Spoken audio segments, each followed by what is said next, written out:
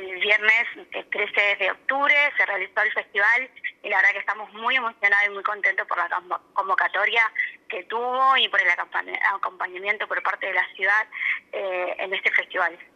¿Hubo bandas en vivo y también momento para que hablen los históricos del Villazo?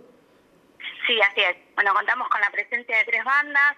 La verdad que queremos agradecer la presencia porque en un primer momento eh, se pusieron a disposición.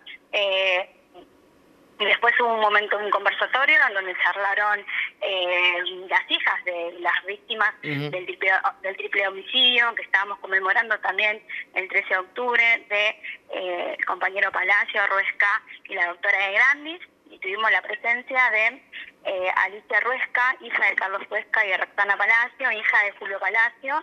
Y así también la presencia de los abogados de la querella de APH, Federico Pagliero y Julia Jordán. Qué bueno. Y bueno, en lo que hace también a, a lo que sea, a lo que es a la espera del juicio, eh, ¿van a estar con alguna actividad o ahora solo queda esperar? Exactamente. Seguramente sí, sí, tenemos una actividad pensada para llevar adelante con las escuelas de la ciudad y también vamos a seguir, digamos, llamando a la convocatoria por parte de nuestras redes sociales para, digamos, dar eh, el cierre con el, inicio del juicio el 13 de noviembre en la ciudad de Rosario. Así que en ese sentido los invitamos para que nos puedan seguir en las redes sociales y a partir de ahí buscar toda la información que se necesita para viajar, para salir desde Villa Constitución, acompañar al inicio del juicio. Como actividades, digamos, en grande, el festival fue el cierre, ¿no es cierto?, de lo que había sido estos ciclos de actividades que habíamos estado realizando previamente. Y, pero, digamos, eso no quiere decir que estamos eh, sin actividad, sino que al contrario, ahora nos queda organizarnos el marco del inicio del juicio y más que nada para ver cómo nos convocamos para viajar desde la ciudad hacia la ciudad de Rosario. Así que alguna asamblea puede haber en el corto plazo.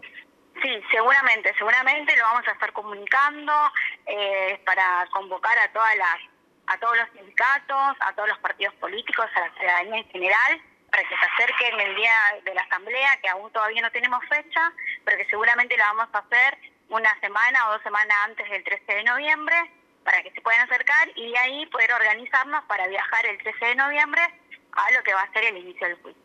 Para cerrar, ¿podemos recordar cuáles son las redes de la 22 de abril? Sí, pues el eh, 22 de abril, tanto en Instagram como en Facebook nos pueden encontrar ahí y ahí se van a estar informando de todas las actividades eh, y, de qué manera nos vamos a organizar y convocar para viajar el 13 de noviembre.